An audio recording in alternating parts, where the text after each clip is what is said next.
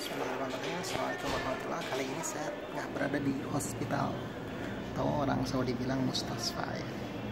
Uh, Kali ini nganter temen sih Buat uh, ngebikin uh, surat keterangan sehat Untuk membuat uh, surat izin mengemudi. Jadi surat izin mengemudi di sini itu ya kan mesti uh, dibarengi surat keterangan dari dokter ya kan?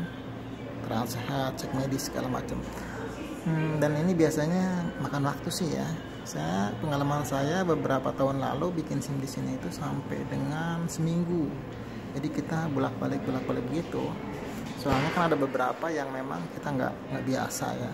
Seperti uh, apa namanya rambu pun ada yang berbeda gitu dengan ya rambu-rambu uh, setiap negara kan ada ya ada tambahan gitulah istilah kan istilah lokalnya begitu terus uh, sistem prosedur dan lain sebagainya hanya saja Nah, kalau di sini tuh nggak pakai uh, suap penyuap, ya kan lebih baik lah ya, ya kan.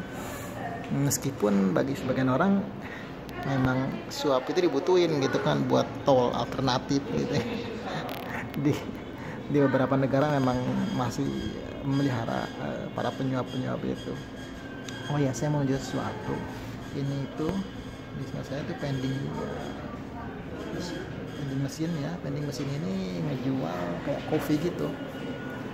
Bisa lihat ini kan kopi nih kan ini rasa-rasanya jadi masukin duit ke sini ya vending mesin lah ya. Seperti antum lihat di vlog-vlog eh, oh ya Reta Kasaki ya seorang vlogger Jepang yang oh itu setiap vlognya itu pasti ada uh, view atau view vending mesin pasti gitu. Hmm apalagi ya? Ya itulah ini rumah sakit namanya Al Faiha. Adanya itu di kota Buraida di jalan uh, Malik Khalid. Jalan-jalan di sini dan nama-nama uh, gedung bangunan rumah sakit sini biasanya di dinisbatkan atau di uh, apa namanya dikaitkan dengan nama-nama uh, para salafus soleh orang-orang soleh ya kan? Atau nama-nama uh, keluarga kerajaan gitu hmm, itu saja.